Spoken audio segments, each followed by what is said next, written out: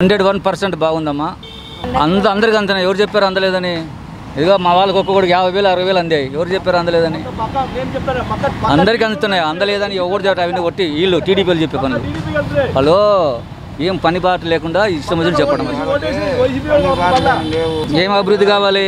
అన్నీ జరుగుతున్నాయి కదా. నాకు ఏం అభివృద్ధి కావాలి చెప్పండి అమ్మా అన్నీ చేస్తున్నారు కదా. అమ్మ ఒడి వేసాడా తర్వాత డ్వాక్రా మహిళలకు డబ్బులు ఇచ్చాడా? రైతులకు ఇచ్చేశారా? ఇప్పుడు నిన్న నిన్న మరి ఏంటమ్మా వయసు బడి పిల్లలకు ఇది ఇట్లు ఇచ్చారా? అన్నీ చేస్తున్నారు. ఏంటి అభివృద్ధి అంటే ఇంకేంటి? ఇప్పుడు పేద పిల్లలకు చదువుకోలేని వాళ్ళకు కూడా చదువు చెప్పిస్తున్నారు కదా. అంతకంటే ఏం అభివృద్ధి ఉంది ఇంకా? ఇంతకుముందు మన బళ్ళు ఎలా ఉండేటమ్మా గవర్నమెంట్ స్కూల్లో? నేను గవర్నమెంట్ చిన్నప్పుడు స్కూల్లో చదివాను. ఎంత చండాలకు ఉండే అంత ఇప్పుడు చూడండి ఎలా ఉన్నాయో. ప్రైవేట్ స్కూల్లో కంటే చాలా టాప్గా ఉన్నాయి. అర్థమైందమ్మా అది. ఏం చర్యలు తీసుకోలేదు ఆయన? మాకు నున్నలో మాకు ఆయుర్వేద మందులు కూడా ఇచ్చారు గవర్నమెంట్ ఫ్రీగా.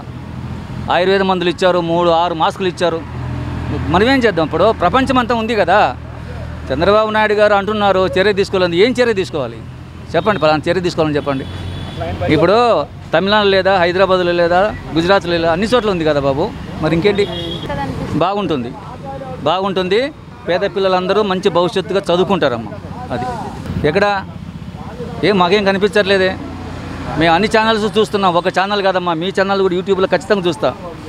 ఇది డైలీ నా దగ్గర ఉంది యూట్యూబ్లో కూడా ఖచ్చితంగా వస్తుంది మీది. చూస్తాను. ఏం వాళ్ళు ఎవరు చెప్పలేదే దోచుకుంటున్నారని.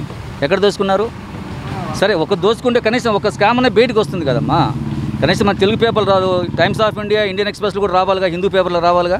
రాలేదుగా మాకు అన్ని పేపర్లు వస్తాయి మా ఆఫీస్కు ఇంగ్లీషు హిందీ తెలుగు కూడా వస్తుంది. రెండు వస్తాయి. రావట్లేదు ఏ స్కామ్ ఎవరు చేశారని? బాగలేదు. ఇదే లాస్ట్ పరిపాలన బాగలేదు. ఇప్పుడు చంద్రబాబు నాయుడు గారు ఎలా చేసింటే పేదలకు ముప్పై లక్షల మందికి ఇల్లు ఇస్తామన్నారు. ఒక మాట చెప్పేది వినండి బాగా జాగ్రత్తగా. ముప్పై లక్షలు ఇంటూ నాలుగు వేసుకోండి ఒక కుటుంబంలో. భార్య భర్త ఇద్దరు పిల్లలు అనుకోండి.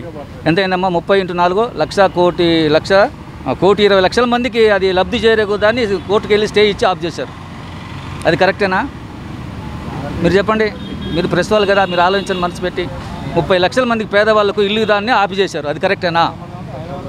తప్పు ఒప్పని కాదమ్మా వాళ్ళు. వాళ్ళు స్టే చేశారు పార్టీ వాళ్ళు. అది మంచి పద్ధత కాదా? అది చెప్పండి.